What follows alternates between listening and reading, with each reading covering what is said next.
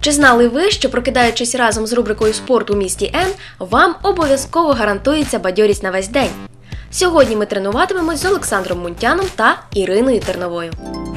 Первое упражнение у нас армейский жим штанги стоя. Выполнять его. Подходим к штанге, берем штангу, снимаем, становимся, колени немножко сгибаем, делаем вдох и на выдохе выталкиваем штангу вверх, полностью выпрямляя руки. При этом спинка у нас ровная, не сгибаемся, чересчур не прогибаемся. Идем плавно вниз и на выдохе быстро вверх. Выдох. Да. Выдох.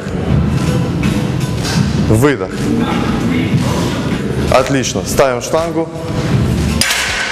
Это упражнение нужно выполнять постоянно в поясе. Сейчас был небольшой вес, ну, для Иры это вообще Сначала очень- обязательно пустым весом разминать. разминка обязательно, да. 15 раз пустой штангой, затем накидываем веса.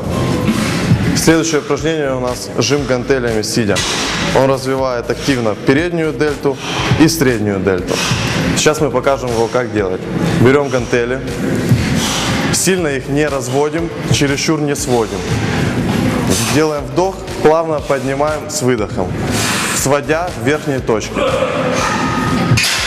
Для новичков я рекомендую полностью выпрямлять локоть, а те, кто уже более опытный, выпрямлять не до конца, чтобы нагрузка с плеч не уходила.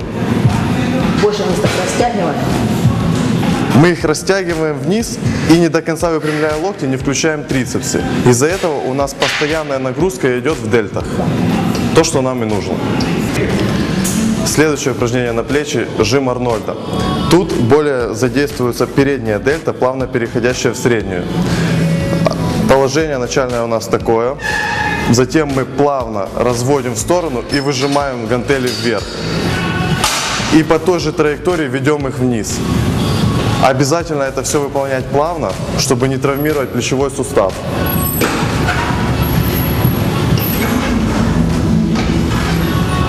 Да. Вверху делаем выдох. Всегда на усилии мы делаем выдох.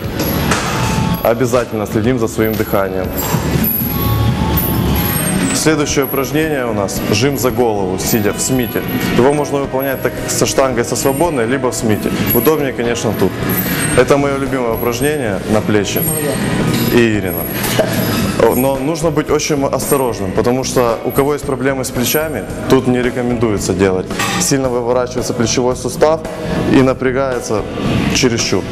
Итак, исходное положение. Беремся, хват широкий, снимаем, плавно ведем вниз, но не доводя до трапеции. И выжимаем с выдохом. Да, полностью До мочки руки. уха, До мочки уха, да. До нижней части уха.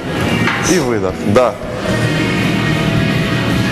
Обязательно плавно вести вниз гриф. Не, не бросать. Чувствовать напряжение, чувствовать вес. Нижние точки не расслабляемся.